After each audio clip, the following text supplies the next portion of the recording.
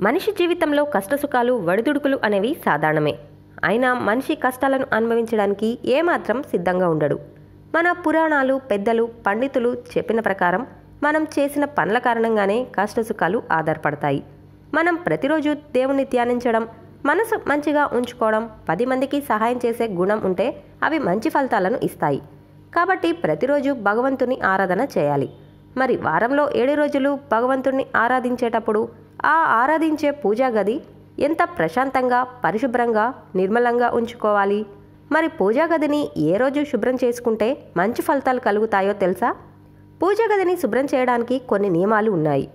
ఈ గదిని గదిలో దేవతా విగ్రహాలను శుక్రవారం ఎట్టి పరిస్థితుల్లోనూ శుభ్రం చేయకూడదు. పూజ గదిలోని దేవతా విగ్రహాలను గురువారం శుభ్రం చేసుకుంటే పసుపు కుంకుమ అలంకరణ చేయాలి.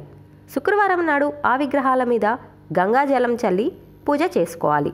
ఒకవేళ శుక్రవారం దేవతా విగ్రహాలను శుభ్రం చేయవలసి వస్తే శుక్రవారం సూర్యోదయానికి ముందే శుభ్రం చేయాలి. పూజా సామాగ్రి మరియు దేవతా విగ్రహాలను సాయంత్రం సమయంలో ఎప్పుడూ శుభ్రం చేయకూడదు. పూజా గదిని గురువారం ఉదయం పది గంటల నుండి సాయంత్రం ఐదు గంటలలోపు శుభ్రం చేసుకోవాలి. సాయంత్రం ఆరు దాటాక పూజ గదిలోని వస్తువులను శుభ్రం చేయకూడదు. మీరు పూజ గదిని శుభ్రం చేసుకోవాలంటే వారంలో గురువారం రోజు శుభ్రం చేసుకుంటే మంచిది. For interesting more updates please subscribe our channel